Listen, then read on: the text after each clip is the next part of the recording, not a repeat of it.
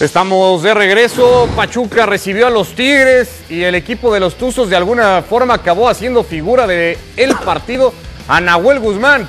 Y eso que el Chaca acá le jugaba en contra a su arquero. Sí, partidos eh, donde de pronto Nahuel Guzmán ha fallado, aquella final contra Chivas, alguno que otro compromiso también de liguilla, pero ayer eh, se elevó como la figura del equipo de Tigres. Y este partido quedó 1 a 1 fue porque Nahuel Guzmán mínimo tuvo cuatro atacadas sensacionales, tres en la primera mitad, una más en el segundo tiempo y lo otro.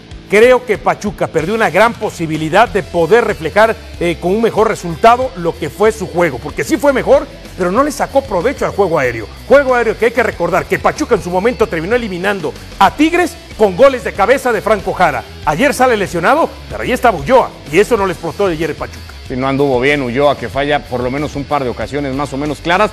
Después Tigres también da la impresión, Que se Hércules, relaja, sí. de que trata de sobrellevar el partido, ¿no? De que cae en un momento de, de confort, de decir tampoco esto está tan mal, lo podemos resolver en Monterrey, ajusta el Tuca defensivamente y a partir de ahí sobrelleva el juego.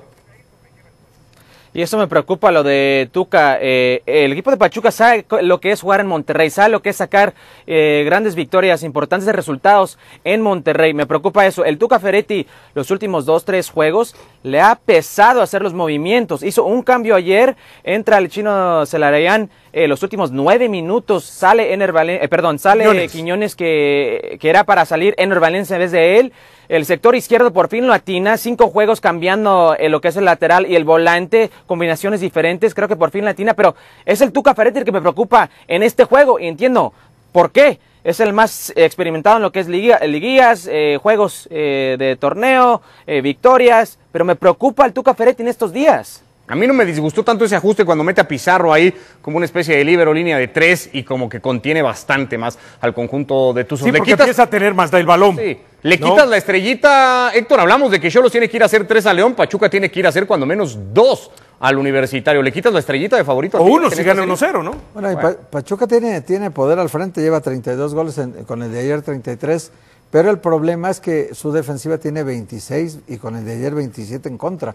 En cambio, Tigres tiene casi los mismos goles, 33 más el de ayer 34, pero tiene solo 16 en contra, o sea, 10 menos que el Sello del que el Tuca, ¿no? Esa del siempre, la Tuca. solidez defensiva. Entonces, Yo- yo, yo sí creo que Pachuca puede hacer dos goles. Lo que no creo es que el Tigres deje de hacer goles también. Y entonces al convertir goles también Tigres, yo lo sigo viendo a Tigres como favorito y Pachuca, lástima pues porque ha sido muy mal visitante. De nueve partidos que ha jugado de visitante, eh, empató cuatro y perdió cinco. A ese punto voy yo y qué no bueno que lo tocas, este Héctor.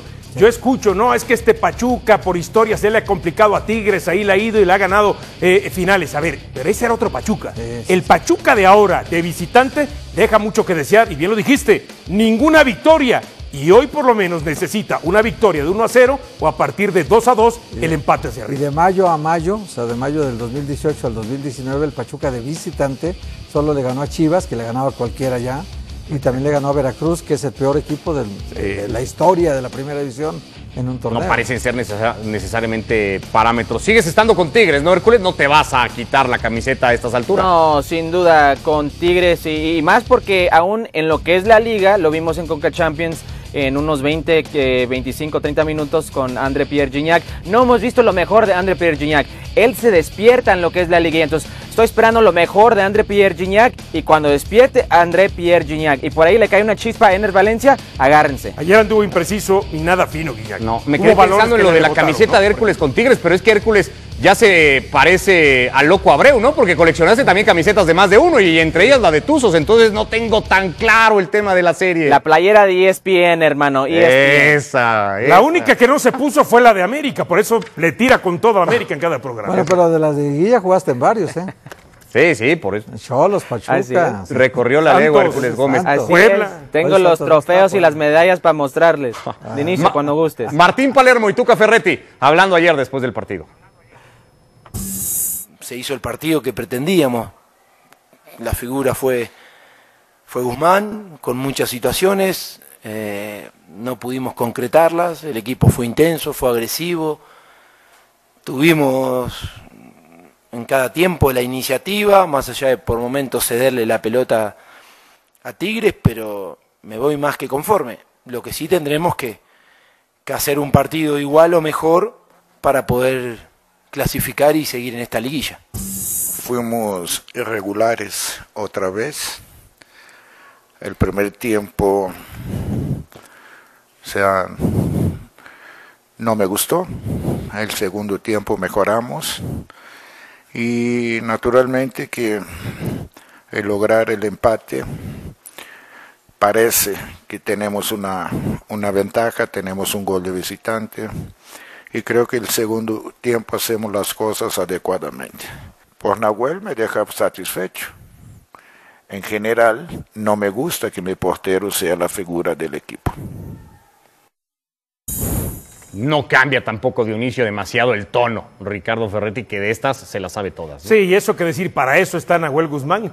Entiendo esa- que, que para eso está, pero de todos modos, tú no puedes permitir con el potencial que tiene que tu figura sea el portero. Y además, dice el Tuca, en el segundo tiempo hicimos lo que teníamos que hacer. Yo recuerdo imágenes del Tuca en los últimos 15 minutos del partido que estaba neurótico. Estaba fúrico por lo que estaba viendo en la cancha, tal vez porque su equipo, lo que decías hace un momento, sobrellevaba y caía en mucho toqueteo y sobre todo... Pero creo que con esa intención de partido de Tigres, ¿no? Sí, de bueno, decir, ya, yo creo que era más bien cuestión de los jugadores y tal vez no lo que pretendía el Tuca desde la banca. Por eso es que se ponía neurótico. Tanto toque lateral, tanto toque sin ser profundo, tanto toque que no sirve para nada, simplemente para quemar tiempo y quitarle la pelota el al rival. con el balón. El equipo de Tuca es de mantener posesión y no arriesgar en lo que es el- la primera línea defensiva. Y anoche vimos un equipo de Tigres, Salcedo, eh, Hugo Ayala, este, Dueñas, que de repente los más seguros fallaban con el balón y regalaban en pos- posiciones muy peligrosas eh, oportunidades al equipo de Pachuca. Muy impreciso el partido, sobre todo en el primer tiempo tuvo cualquier cantidad de fallas y entregas de balón